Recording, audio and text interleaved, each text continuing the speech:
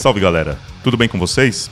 Hoje a gente vai falar sobre os processos movidos por João Gordo e Vivi Torrico contra a Rede Globo, alegando que a emissora plagiou um programa produzido pelo casal desde 2014, sobre a confirmação do lançamento de uma collab do Korn com a marca Adidas, da postura da banda Black Pantera, que continua firme com as suas convicções, mesmo enfrentando a pressão de uma parte do público, e mais.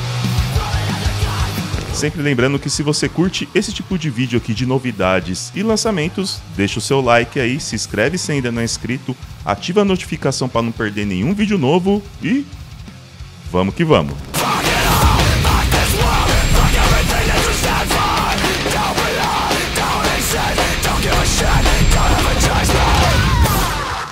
Muita gente acabou conhecendo o Dragon Force através do Guitar Hero, pois uma das músicas da banda fez um grande sucesso entre os fãs do jogo.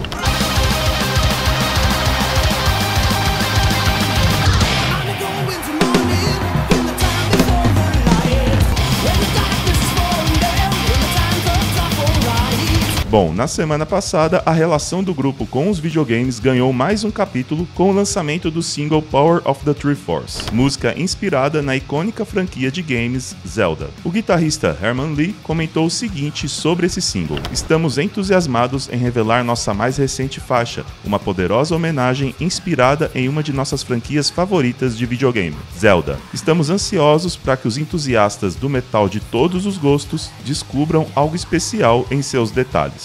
Essa faixa fará parte de Warm Speed Warriors, nono álbum de estúdio do Dragon Force, que será lançado no dia 15 de março do ano que vem.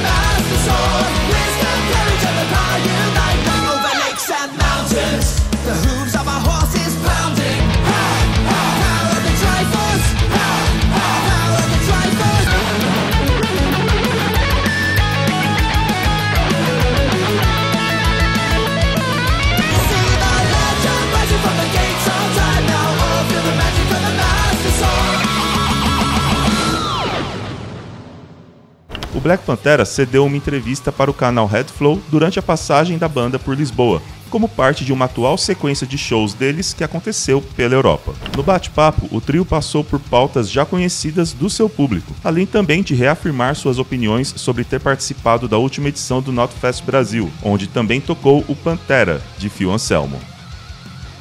O álbum mais recente dos caras, Ascensão, foi lançado em março do ano passado e fez parte de uma lista aqui do canal. Se você ainda não viu esse vídeo, eu vou deixar ele aí no card. Ah, e o link para a entrevista completa vai ficar no comentário fixado aqui embaixo do vídeo. E é bizarro, porque aí você vai ver, você vai perguntar para um cara desse, cara, você já tentou traduzir as canções dessas bandas que você gosta? O cara não tá nem aí, tá pelo nós. E ele defende a bandeira do nós e, e tá tudo certo. E aí a gente chegou nesse momento, que é importante dizer isso, porque todos nós aqui escutamos Pantera. Todos nós aqui escutamos Pantera. Escutávamos. Escutávamos demais Escutávamos, a conta, sim. mas muito, muito, Sem muito. saber, né? E aí foi passando tempo, passando tempo, algumas dicas surgiam, cara, mas essa banda aqui, mas de repente a gente, com o letramento que a gente teve, e com o Fio Anselmo fazendo as borradas dele pra caralho, né? Pra porra. A gente falou assim, cara, não dá, não, não, não tem jeito de, não dá liga. Porque a nossa batalha é totalmente contrário disso. Se eu apoiar uma banda que faz isso, meus fãs vão pensar o que de mim? E eu mesmo vou pensar o que de mim?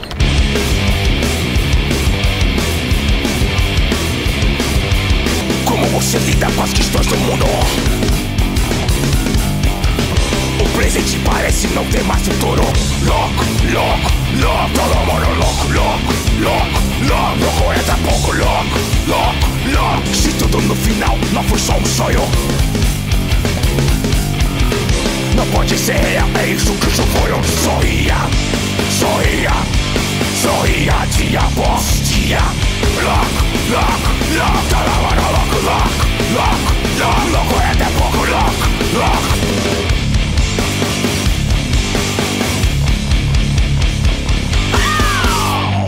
Depois de sumir por quase 10 anos, o Austrian Death Machine está de volta com seu Maromba Metal. O projeto, que conta com Tim Lemmesis, vocalista do As I Dying, foi criado há 15 anos atrás, mas teve seu fim anunciado em 2014, depois de três álbuns de estúdio lançados. Agora eles estão de volta com o single No Pain, No Gain, que conta com a participação do fisiculturista Greg Goliath nos vocais e do guitarrista Angel Vivaldi. No Pain, No Gain fará parte do quarto álbum de estúdio da banda, que ainda não teve título nem data de lançamento divulgados. I'm not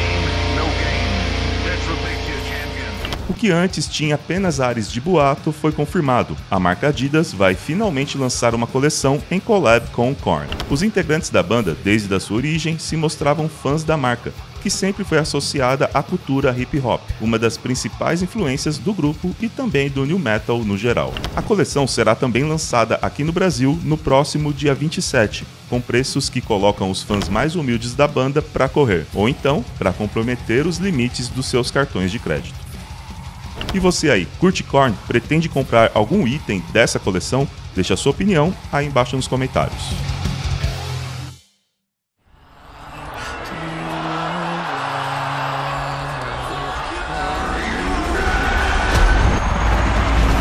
We were obsessed with gangster rap so much, and a lot of these guys would wear sportswear, and that had major influence on us. The new collection is stuff created by us. This is my purple tracksuit. Turn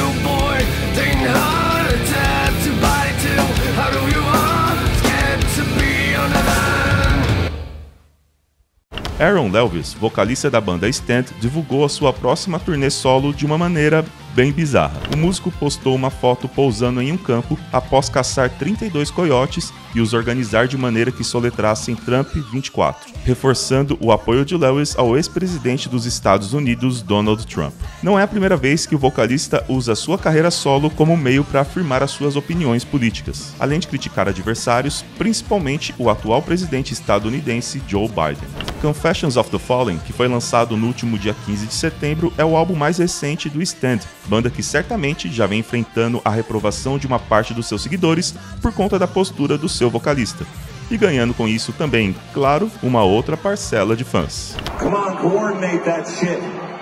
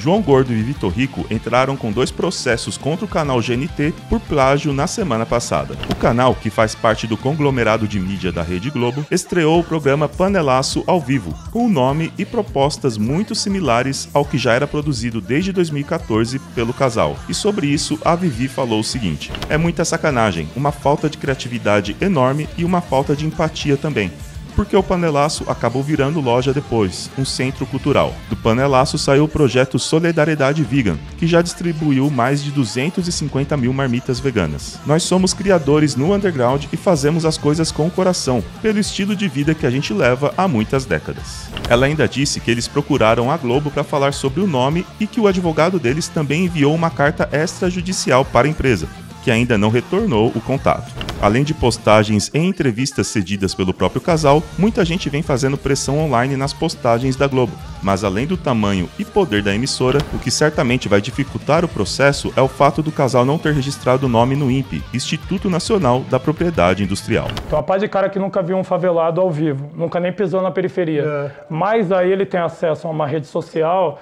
e ele começa a inventar o vitimismo o mimimi. Porra, porque os caras lá são meio bem racista, cara. Vocês com uma puta cara de mexicano, velho. Ah, até aqui, né, velho? Tem cara ah. metido, até cara aí que é filho de índio e negro metido? É isso aí, galera. Como vem acontecendo semanalmente entre trancos e barrancos, essas foram apenas algumas novidades, lançamentos e resenhas da música pesada e alternativa que eu resolvi compartilhar com vocês. Teve alguma outra coisa que faltou um destaque? Deixa aí embaixo nos comentários. Sem esquecer também de deixar aquele like maroto, se inscrever se ainda não é inscrito, ativar a notificação para não perder nenhum vídeo novo, porque se papai do chão quiser, nós estamos aí na próxima. Valeu!